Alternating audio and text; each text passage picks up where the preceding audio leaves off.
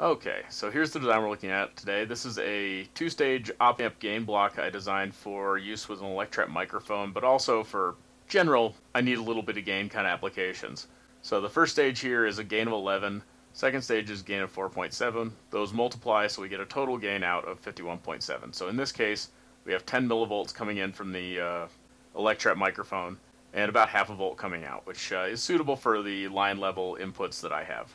I have the first stage biased to 150 millivolts because this is a single supply 3.3 volt system. So this signal coming in, it can't swing negative, so I have to lift it above the uh, above ground. So in this case, we're expecting about 10 millivolts peak to peak, and I've lifted it 150 millivolts. So that gives us about 75 millivolts of swing either way. And this also gives a output quiescent voltage of 1.65 volts, which is right in the middle of our 3.3 volt power supply. So we go through an AC coupling stage to the second uh, the second amp block, and it's biased to 351 millivolts, which also gives it, after the multiplication from the gain factor, 1.65 volts quiescent. So this should provide an adequate amount of range for the application I'm using it in. So we'll flip over to the uh, board I designed for it. Very simple little board. Um, it works pretty well, but I think if I were to go back and do it again, I would probably add a capacitor to the uh, the power input and maybe make the uh, the gain resistors uh, pots. So I have half of that voltage divider that forms the gain network uh, as a uh, little micro pot, named one sitting right here, the other one sitting right here. Just so I could change the gain of the stages for, for other applications, because right now the only way to change it is to uh, change the resistor values. Which, for an application that I'm using it in, is perfectly fine, because I don't really need variable gain. I designed this to uh, insert inside a lav mic uh, belt pack that I don't have the head end for. It's an RF belt pack. Um, but I got it really cheap, and it has a, a decent-ish little lav mic. In fact, I'm talking into it right now. So I designed this to go inside the uh, inside the little belt pack. I'll cover that in a future video and give it a line out. So basically, I can have a little battery-powered preamp for this microphone, so that I can just plug it into my PC and go record. And it works fine, as as you can hear, because I'm talking into it right now. It's probably not the highest quality thing in the world. I think I got it off eBay for about eight bucks, but it's decent enough. The op amp I'm using in this is a LMV358. It's a low voltage rail-to-rail output op amp, and it runs from uh, 2.7 to 5 volts. So this works perfectly fine with the battery power application I'm using it in, and it uh, has a really low current draw, about 210 microamps. So it'll work fine in this application, and indeed it does.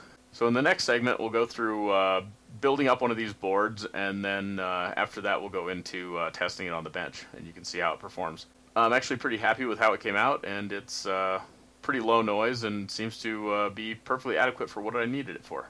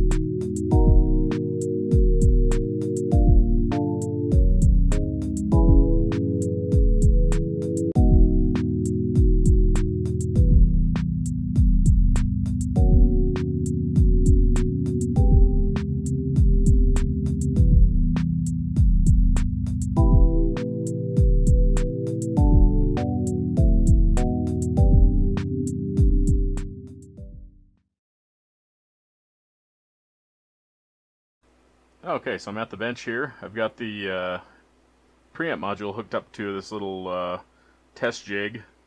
I've got my uh, cheesy little function generator here generating 1 kilohertz signal. It's going through a 200 to 1 attenuator because this thing is really noisy at the uh, lowest lowest output range. So I'm generating a 2 volt signal, putting it through a 200 to 1 attenuator and getting about 10 millivolts uh, peak to peak out here where I have a probe plugged in. And that's feeding into the input of the amp. I have the other probe, the scope, plugged into the output. And uh, on the scope, I have averaging turned on because the uh, the test setup is not exactly too quiet, and this is also fairly down in the weeds of the oscilloscope range. Um, but uh, with the with averaging, it cleans it up nicely, and you can see the input signal is uh, reading fairly noisy, but the output signal has basically no noise that I can see. So that's uh, that's good after a, a, gain factor of around 50. So the amplifier is uh, performing pretty well with low noise. There are a couple little uh, sort of notches on the on the scope here, but these I believe are coming actually from the uh, signal generator, not from uh, not from the amplifier. It does look a bit like crossover distortion, but it's not in my amplifier as far as I can tell. So if I dial up the frequency a little bit, we can see the, the sort of fall off. So I'll try uh, upper end of the audio range at 15 kilohertz clear our mat our metrics. And uh, yeah, we're still getting about the same uh, about the same output level. 10 millivolts, 10.5 millivolts in, 520 millivolts out, so that's very good. And if I uh, wind it up a bit more to say 65 kilohertz, well, you can see we're right around the uh, the 3 dB down point there. So this is good to yeah, 50 kilohertz, easy. 60 kilohertz, something like that. Pretty, uh, pretty decent. Definitely uh, more than adequate for anything audio related. If you like this video and want to help support the creation of more content like this, check out my app in the Google Play Store. It's called Conversion Alchemy and it's a calculator I always wanted to have in my pocket. With Conversion Alchemy, you can do arithmetic directly on over 170 different units using a simple and intuitive interface with high precision and lots of conveniences. Forget how many decimal places to move when going from pico to micro? Sick of reducing fractions on paper or using multiple apps with different features? Want something that has a nice advanced plain language interface but doesn't require a cloud service backend? Check out Conversion Alchemy on the Google Play Store. The QR code in the video or the link in the description will take you over there right now. And as always, if you'd like to support the channel without spending any money, hit that thumbs up button, subscribe, and leave a comment. Thanks!